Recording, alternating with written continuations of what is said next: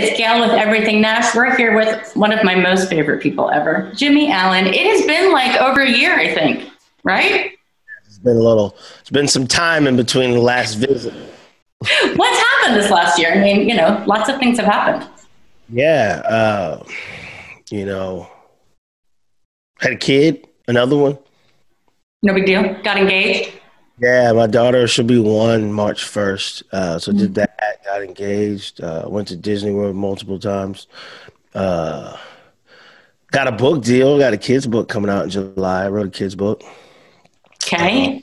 Released a killer album that we're going to talk about. Yeah, that was fun. Um, the Bettie James album, uh, I, I, got to perform on the CMAs, the CMTs, um, the ACMs, and then I got to do uh, Dick Clark's Rockin' New Year's Eve.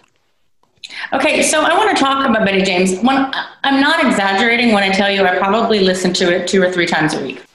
Oh wow. Seriously. It's I don't know that I've ever listened to an album that made sense to me so much, impacted me so much from start to finish. So just talk about writing all seven songs, dude, they're amazing, and getting like every country music star in the world to sing on it with you. Um it was something I, I wanted to um, start to leave a, uh, uh, uh, the legacy of my grandmother and my father uh, through my music. And so I reached out to some of their favorite artists, some of mine, um, and just kind of went from there. Like with Good Times Roll, me and Nelly actually wrote that together with Zach Kraut. Zach, so many Zachs. What's there are a lot of Zachs in country music. So many. It's too many. That's the problem. I'm about to start changing people's names myself. Uh, Zach Kale. It was Zach Kale. Because uh, I write a lot with Zach Kale, Zach Dyer, and Zach Cross. Too many. Uh, uh, but yeah, Zach Kale. Um, the Noah song I did was actually written by Noah, Tyler Hubbard, D Mile, and someone else. Uh, they pitched that to me. Uh, Freedom was a highway I wrote. I wrote that like two years before Brad even jumped on it. Um, it was just when I was listening to that song, I was like, man, this sounds like a song Brad would do. Uh, the Why Things Happen song. That's um, such a great lyric, by the way. Thank you.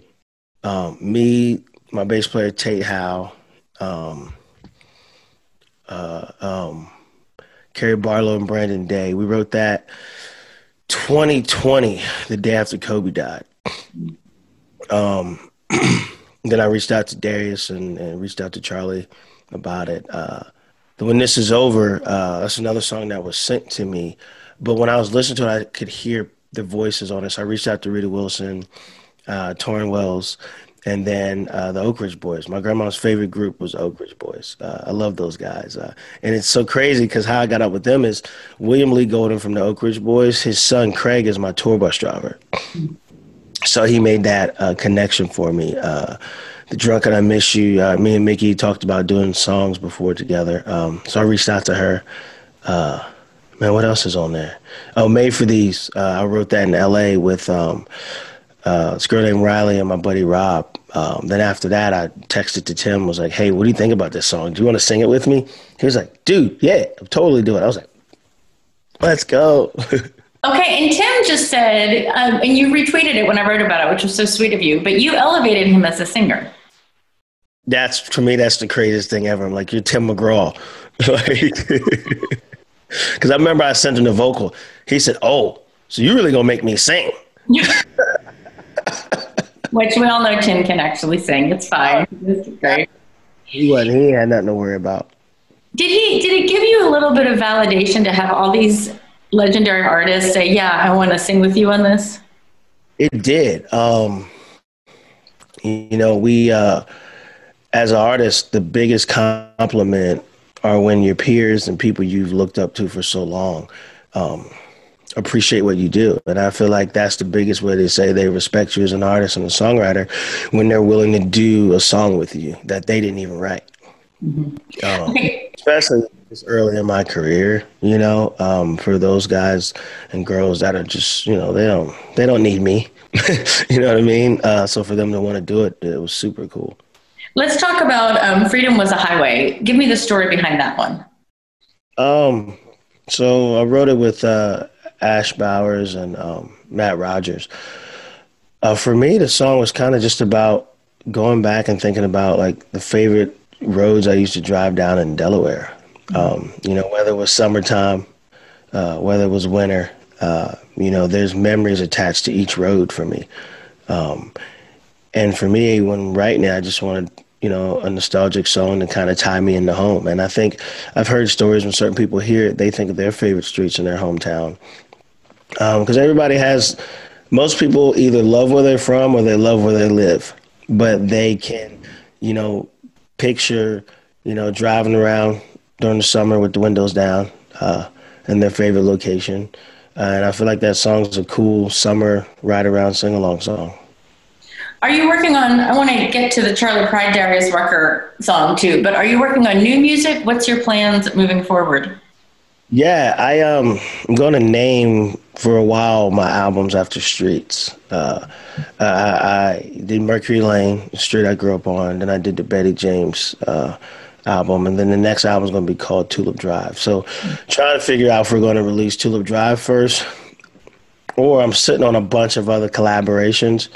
I don't know. We might do a, a, a Bettie James deluxe version because I'm sitting on so many collabs right now, like just in the bank, and I'm just like, let's let's let's just put them out and see Heard what first. Um, I support that idea, by the way. My opinion matters, I'm all for another collaborations album. I love it. I love collaborations. I think I think it's fun. Like I've had, you know, someone at a different label ask me, said, Jimmie, do you think you're doing too many collabs? I said, No. I said in every other genre they collab all the time. And if you look at the creation process of a song, the whole thing is a collaboration until the performance of it. The songwriting is a collaboration, the production is a collaboration, the mixing, the mastering, the marketing plan around it. Everything else is a collaboration except for the performance most of the time. And you know, I love working with other artists. You know, they bring energies to they bring energy to the song. You know, um, uh, somebody was like, "Well, do you think that'll hurt your career?" I said, "No." I said, "I'm confident in who I am. That I'm. I don't mind sharing a song with someone else. You know what I mean? And especially when it goes both ways. You know, someone else can bring energy to the song that you couldn't bring, and also you get a chance to introduce each other to each other's listeners. You know, um, one of the best marketing things out there, in my opinion." Uh, so your song you have with Darius Rucker and Charley Pride. Mm-hmm what did it mean to you to have Charley Pride sing with you? Man, it was it was the best thing ever. It was like imagine someone in your life that they're the reason why you feel comfortable doing something the ultimate inspiration and so for me being a black kid growing up in delaware um, listening to country music and then we didn't really see anybody on TV that looked like us. So the thought of being a country artist was cool, but how realistic was it? You know, so for me, he was the one that made it possible uh, for me to see an example. Okay, this is doable. Um, so to do a song with him and you know become friends with him, uh, it was to me that was bigger and better than any award I could ever get it doesn't get no better than singing with Charley Pride for me. You still miss him? Oh, for sure, all the time. We used to talk every other Sunday on the phone. Really? He was a sweet man. I only got to interview him once, and the interview lasted like 30 minutes because he just kept talking, and I just listened. I love it when uh, he uh, he would start talking. He'd be like, "Oh, what was the name of that place? Uh, uh, uh, uh." Uh, and he go, oh, I'll be like, man, look, I ain't got that much time. Let's just continue the conversation. When you figure it out, let me know later. I appreciate so much. Through you talked about how he was a model for you, Darius Rucker. Through the racial challenges of the last year, you've been such a voice of reason and kindness, and I appreciate that so much. You know, I I tell people all the time, people look up to two people in life they either say God or they say Martin Luther King. And the thing about both of those figures are they're all about forgiveness. You know what I mean? Um, they're about you definitely hold people accountable. They're about forgiveness. You know, if Martin Luther King can forgive people that hung his family members, like come on. You know what I mean? Like it, it's it's it's easy for everyone wants forgiveness, but not everybody wants to give it. You know what I mean? And when people forget, forgiveness isn't about the other person. It's about you. It's about you releasing that weight off of you so you don't have to carry all that. And the only way to make the world a better place, which we all say we want, is to go through the hard stuff. You know what I mean? The only way to get to where you want to go is to go through it. You can't go around it. You can't go over it because it's still going to be there. And I feel like that's the problem with so many things in the world. You keep sweeping stuff when you it's like walking on a rug. If you keep sweeping crap under the rug, eventually that rug is hard to walk on. And at some point, you got to deal with it. And I feel like it's a lot easier to just deal with each pile of dirt by itself, other than making this big old mountain out of it and want to come back and handle it. And by that time, it's too late. Um, so no matter how difficult I feel forgiveness or whatever might be, or how unpopular it might be, um, for me, that's what I'm going to do because I don't. I don't know. I never wake up in the morning and say, "Hmm, what can I do today that people will approve of?" I don't really care what people think about me. I never have. I probably never will because I feel like the only opinion that matters of you is yourself. Because no matter what you do, people are either going to agree or not agree. So I feel like the best thing you can always do in life is make decisions that you can sleep with at night. And that's just what I try to do. Can I vote for you for president? I got to run for mayor in Milton, Delaware first. All right, switching gears never be a president. That's the most boringest job in the world. Like I, I don't understand how people get into politics. It just looks so boring. You sitting around in a suit and meetings all day. No, I would, I'd be wearing sweats. Like I met, I've met tons of mayors for dinner, politicians. You know what I wear? Sweats and a hoodie. I'm comfortable. Well, if you become president, you can enact that as a dress code. How, okay, I want to talk, we're going to do something fun before I let you go. But first of all, how are wedding plans and how are your children? Kids are good. Uh, wedding plans, I think, are good. I got to check with Lex on that. You know, I'm letting her plan. I'm just going to show up. Is it like, are you waiting until COVID's over or big wedding, small wedding? We were going to do it last year. The only reason that we didn't do it last year wasn't really for COVID. It was wasn't because we the we were nervous about COVID. It was more about a lot of people lost their jobs. Mm. And we didn't want people to financially stress out over coming to a wedding. We didn't want people to come to the wedding and then put themselves in a financial bind. And then we didn't want to have it and people that were going to come not be able to come because of financial restrictions. So uh, we're supposed to do it at some point this year. Um, or uh, some point. Actually, I'm not sure. Like, I've gotten a bunch of emails and like requests. People reach out.